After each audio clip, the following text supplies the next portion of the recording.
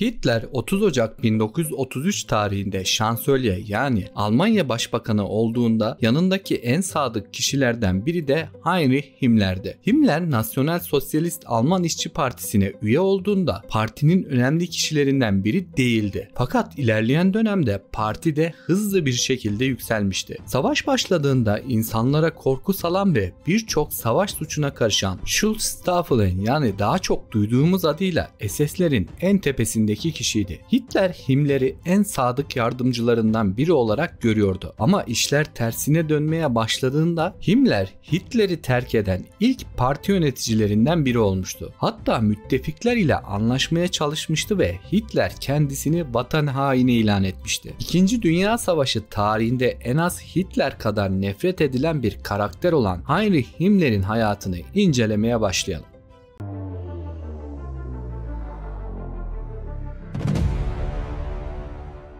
Heinrich Luitpold Himmler 7 Ekim 1900 tarihinde Münih'te doğdu. Heinrich Himmler ailesinin 3 çocuğundan ikincisiydi. Baba Gebhard Himmler yaşadıkları bölgedeki lisenin müdür yardımcısıydı ve çok dindar bir kişiydi. Himmler ailesi çok zengin olmasa da hayatlarını rahat şekilde sürdüren bir aileydi ve yerel halk arasında prestij sahibiydiler. Heinrich Himmler çocukluğunda sönük bir karakterdi ve sık sık hastalanmaktaydı. Bu dönemde okulda aşırı derecede devamsız devamsızlık yapıyordu ama çalışkan bir öğrenci olarak bu durumu telafi etmekteydi. Ayrıca Heinrich Himmler dindar bir çocuk olarak yetiştirilmişti ve Himmler çocukluğunda dünyadaki en önemli görevinin kiliseye hizmet etmek olduğunu belirtiyordu. Birinci Dünya Savaşı patlak verdiğinde her Alman genç gibi Himmler de orduya katılmaya istemişti ve Alman deniz kuvvetlerine başvuruda bulundu. Babasının da çabalarına rağmen standartlara uymadığı için donanmaya kabul edilmedi. Birinci Dünya Savaşı devam ederken subay okuluna tekrar başvuran Himmler bu sefer kabul edilmişti ama Himmler okulu bitiremeden Birinci Dünya Savaşı sona erdi. Himmler asker olmak için yanıp tutuşsa da bu emelini gerçekleştirememişti ve hayatı boyunca içinde taşıyacağı bir uhde olarak kalmıştı. Birinci Dünya Savaşı bittikten sonra Himmler Almanya'da komünist taraftarlarıyla mücadele eden Fire Corps birliklerinden birine katıldı. Versay Anlaşması'na karşı olan birçok paramiliter örgütte de görev yapan Himmler Birinci Dünya Savaşı'nda ülkesine hizmet edememesinin acısını bu yolla çıkarıyordu. Fakat Himmler silahlı mücadelede ön saflarda yer almamaktaydı. En büyük düşüncelerinden biri Almanya'yı tekrar yükseltebilecek önemli ve vizyon olan yeni bir yüzün Almanya Almanya'nın başına geçmesiydi. Himmler'in ailesi koyu Hristiyanlardan olsa da Yahudi karşıtlığı besleyen bir aile değildi. Ancak Himmler 20'li yaşlarda Almanya içinde dolaşan Yahudi karşıtı broşürlerden ve yazılardan oldukça etkilenmişti. Himmler de Alman halkının yenilgisini, ekonomilerinin yıkıma uğramasını ve çeşitli anlaşmalarıyla Almanya'nın onursuzlaştırıldığını düşünüyordu. Bütün suçun da Yahudilerde olduğuna inanmaya başlamıştı. Gençlik yıllarında da artık ailesinin desteği olmadan kendi yolunu çizmeye uğraşıyordu. Çünkü şu anki Almanya düzeni babasının kendisine aktardığı gibi değildi ve Almanya'dan göç etmeyi düşünmekteydi. 1922 yılında Sovyet Büyükelçiliğine gitmişti ve tarım yöneticisi olarak Ukrayna'ya taşınma hakkında bilgi aldı. 1922 yılının sonunda Himmler tarım üzerine aldığı eğitimi tamamlamıştı ve bir gübre fabrikasında ziraat asistanı olarak işe başladı. 1923 yılında ise Nasyonel Sosyalist Alman İşçi Partisi'ne katıldı. Partiye katıldıktan sonra kahverengi gömlekliler olarak bilinen Schutztrupp Abteilung'da görev almaya başlamıştı. 8 Kasım 1923 günü Hitler ve yandaşları bir ayaklanma çıkarıp iktidarı ele geçirmeye çalıştılar. Birhane darbesi olarak bildiğimiz ayaklanmaya Himmler de katılmıştı. Fakat Himmler o dönem partide hiç tanınmayan üyelerden biriydi. Birhane darbesi girişiminde sadece elinde partinin bayrağını taşıyan sıradan görevlilerden biriydi. Başarısız bu girişimden sonra birçok parti yöneticisi tutuklandı. Himmler de sorguya çekilmişti ama delil yetersizliğinden serbest bırakıldı. Ancak isyan girişimine katıldığı için gübre fabrikasındaki işinden kovulmuştu. O dönem parasız kalan Himmler hayallerini bir kenara bırakarak ailesinin yanına taşınmak zorunda kaldı. Ailesinin yanına döndüğünde ise artık başka bir kişiliğe bürünmüştü. O sakin kişiliğe gitmiş agresif, sinir patlamaları yaşayan biri olmuştu. En önemlisi ise dindar bir gençlikten sonra dini duyguları terk etmeye başlamıştı. Himmler bu kısacık siyasi döneminde şimdiden Hitler'e hayran olmaya başlamıştı. Özellikle Hitler'in mahkemede yaptığı savunmaya hayran kalmıştı ve ne olursa olsun bu adamın yanında olmalıyım demişti. Nasyonel Sosyalist Alman İşçi Partisi'nin yasakları kalkıp tekrar büyümeye başladığında Himmler partinin üst düzey politikacılarından biri olan Gregor Strasser'in sekreterliğini yapmaya başladı. Bu dönemde Himmler küçük yerleşim yerlerinde parti adına Yahudi ve komünizm karşıtı konuşmalar yapıyordu. Himmler'in sekreterliğini yaptığı Strasser hapse girdikten sonra Hitler'in eski popülerliğini tekrar kazanamayacağını düşünmekteydi ve parti içinde bir güç mücadelesi başlamıştı. Strasser ve ve Hitler arasındaki bu mücadelede Himmler hayranlık duyduğu Hitler yanında değil patronu Strasser'den yana olmuştu. Fakat Hitler bu güç mücadelesini kazanmıştı ve bunun üzerine de Himmler ani bir dönüş ile Hitler'in yanındakilerden biri olmaya başladı. Parti içindeki bu küçük anlaşmazlık sona erdikten sonra Himmler parti içinde hızla yükseliyordu.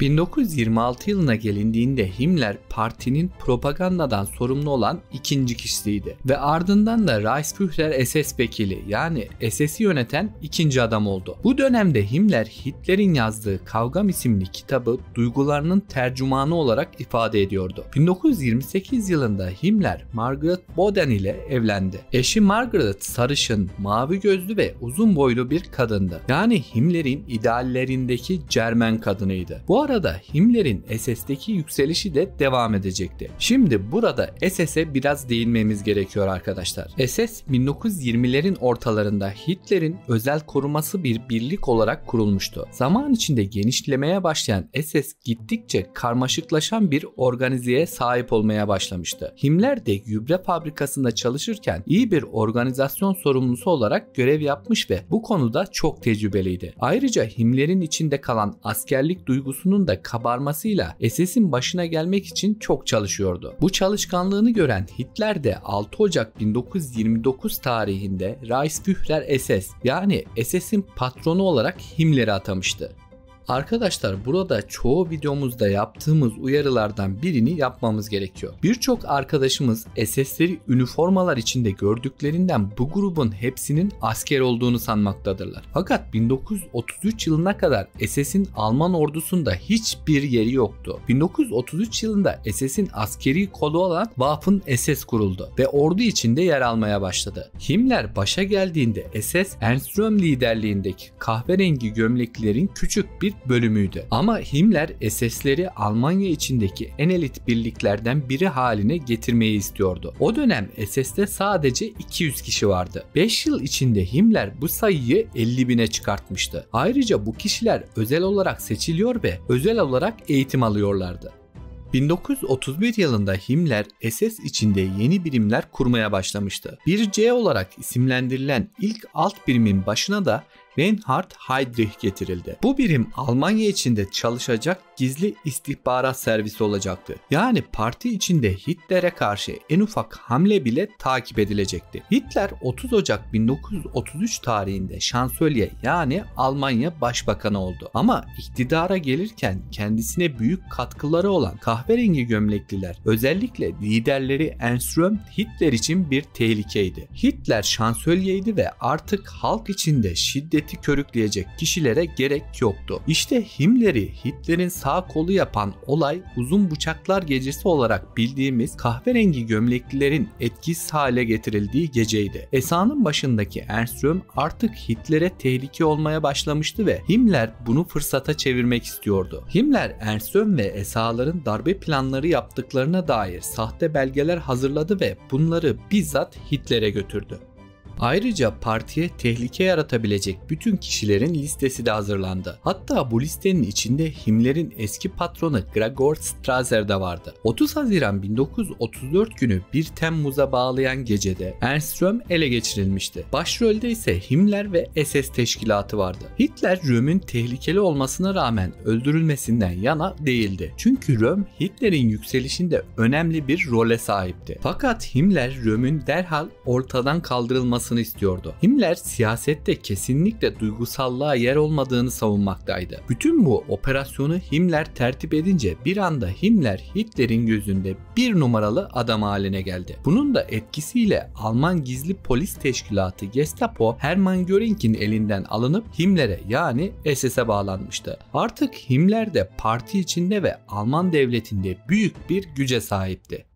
SS günden güne büyüyor ve birçok farklı birimler ekleniyordu. Gestapo ve tüm Alman polis teşkilatı da Himmler'in elindeydi. 11 Ekim 1936 günü Himmler Alman Hukuk Akademisi'nde bir konuşma yapmıştı ve bu çok ilginç bir yerde yapılan çok ilginç bir konuşmaydı. Hukuk Akademisi adalet dağıtan kişiler yetiştirmektedir. Fakat Himmler konuşmasında anayasa ya da hukuk kuralları benim için hiç önemli değil. Önemli olan Führer ve Almanya'nın geleceği geleceği diyor. SS'in ya da Gestapo'nun eylemlerinde yasa ihlali olduğunda yasa ihlal edildi diye bana sızlanmayın. Sızlansanız da bu benim hiç umurumda değil diyordu. Bu da ileriki dönemlerde SS'in büyük suçlar işleyeceğinin o dönemden bir göstergesiydi. Savaş başlamadan önce Himmler neredeyse SS'e yapılan her başvuruyu bizzat inceliyordu ve kesinlikle SS'te ırksal bir karışıklık istemiyordu. Bütün SS üyelerinin saf Alman ırkından gelmesi gerekliydi.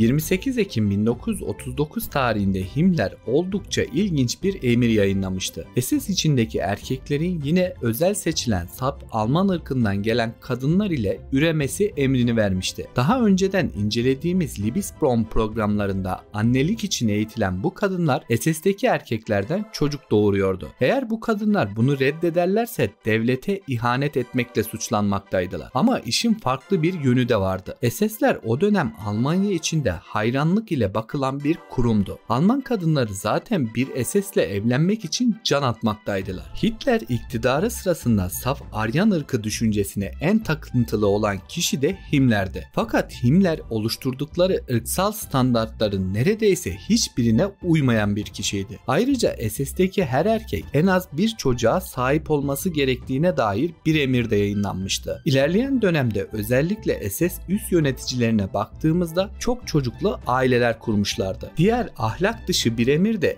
SS'deki erkeklerin birden fazla evlilik yapmalarına izin verilmesiydi.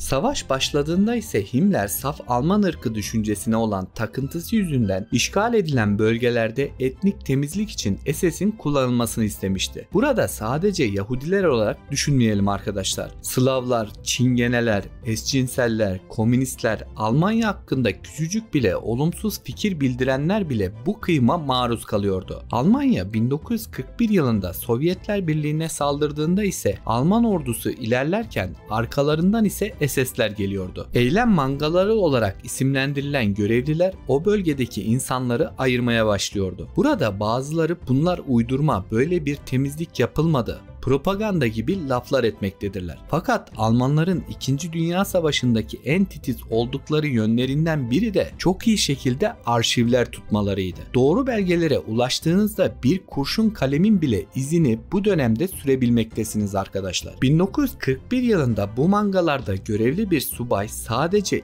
2 ayda 90 bin sivili öldürdüklerini üstlerine rapor etmiştir ve bunu çok büyük bir başarı olarak üstlerine övünmüştür.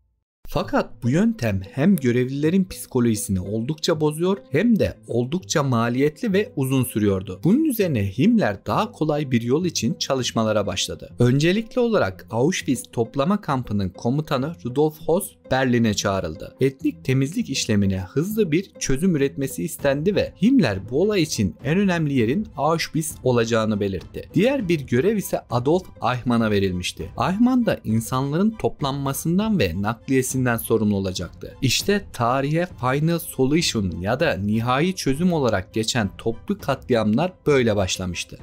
Toplu katliamlar denildiğinde herkesin aklına tabii ki gaz odaları gelmektedir. Gaz odası özel bir plan ile geliştirilmiş bir eylem değil, tamamen şans eseri keşfedilen bir yöntemdi. Ziklon isimli böcek ilacı şans eseri Alman askerler yanında aktif hale geldi ve askerler 15 dakika gibi bir sürede ölmüştü. Kamp komutanı Rudolf Hoss bir baraka yaptırdı ve bu gazı esirler üzerinde denedi. Deneme başarılı olduğunda bunun raporu Himmler'e sunulmuştu. Sonrasında bu iş için dev barakalar kuruldu ve ziklon gazı da daha etkili olması için geliştirildi. 1942 yılında Himmler Auschwitz kampını ziyaret edip bütün bu süreci kendi gözleriyle görmüştü. Sonrasında bunu meşrulaştırmak ve halka göstermek için Propaganda Bakanı Joseph Goebbels de kamplara getirildi. Fakat Goebbels bunu halka satamayacaklarını söyleyip gizli şekilde yapılmasını savunmuştu ve Hitler Goebbels'i haklı buldu. Himmler bu ziyareti sonrası toplantılarda detaylı bir rapor sunmamıştı. Bu olaylar Himmler'e sorulduğunda ise sadece gördüklerimden memnunum demişti.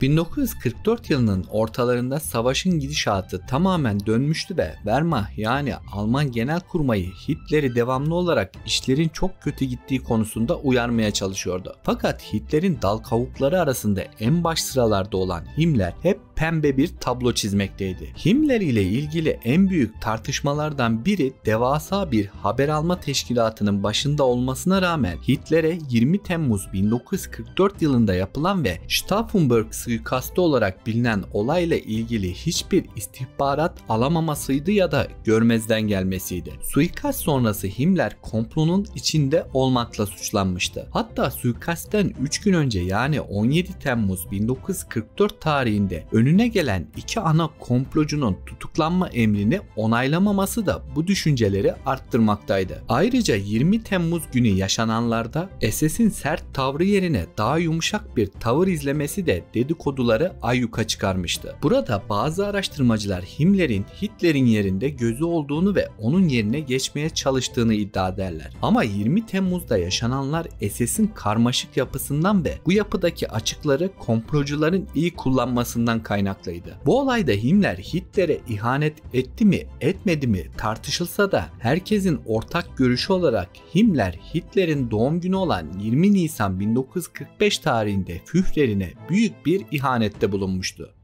Sovyet kuvvetleri Berlin'in içlerine doğru ilerlerken Berlin'i ilk terk edenlerden biri de Himmler'di. Ayrıca Himmler gelişmeleri önceden takip ederek kampların bir an önce yıkılmasını ve hiçbir kanıt bırakılmamasının emrini de vermişti. Ancak 1945 yılına gelinmeden önce zaten bu kampların olduğu biraz olsun müttefikler tarafından biliniyordu. Nasıl derseniz Sobibor kampında 14 Ekim 1943 günü bir isyan çıkmıştı ve 300 esir kamptan kaçmayı başarmıştı. Bu bilgi Himmler'e ulaştığında Himmler acilen kampın yıkılmasını ve hiçbir kanıt bırakılmadan temizlik yapılmasını emretmişti. Tabii ki bu olay Hitler'e aktarılmamış SS'in içinde gizli tutulmuştu. Kaçan esirler müttefiklere ulaştıklarında durumu anlattılar ama gözetleme uçakları belirtilen yerlerin fotoğraflarında hiçbir şey bulamadılar. Anlatılanların da kaçan esirlerin kötü psikolojisiyle abartıldığını düşündüler.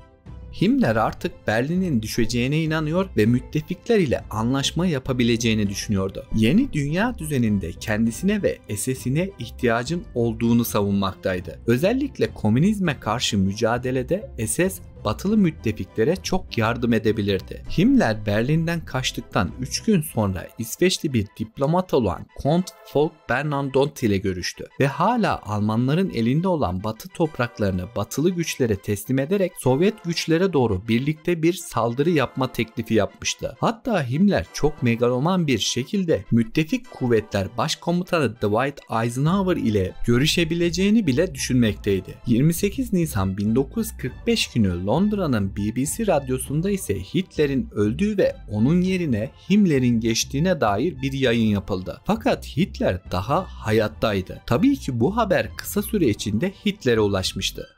Hitler hiç beklemediği bir ihanet ile karşılaşmıştı. Hem de bu ihanet en sadık adamım dediği Himmler'den gelmişti. Hemen Himmler'in tutuklanmasını hatta görüldüğü yerde vurulmasını emretmişti. Ama Hitler birkaç gün sonra intihar etti. Hitler'in ölümünden sonra Joseph Goebbels Führer varisiydi. Ama Goebbels Sovyetlerle anlaşmaya çalışmış, Sovyetler anlaşma yapmaya yanaşmayınca Goebbels de intihar etmişti. Goebbels'in Führer varisliği sadece bir gün sürmüş, sonrasında sonrasında Kardonis Führer varisi olmuştu. 1 Mayıs'ta Himmler ve Amiral Kardonis Plon'daki deniz kışlasında bir araya geldiler. Kardonis teslim olma yanlısıydı ama Himmler yeni dünya düzeninde SS'in önemli bir yeri olacağını iddia ediyordu. Bunun üzerine Karl Dönitz görevden alındığına dair Hitler imzalı belgeyi Himmler'e gösterdi. Fakat Himmler artık Hitler'in olmadığını ve birlikte çalışabilecekleri teklifinde bulundu. Karl Dönitz ise bu teklifi reddetti.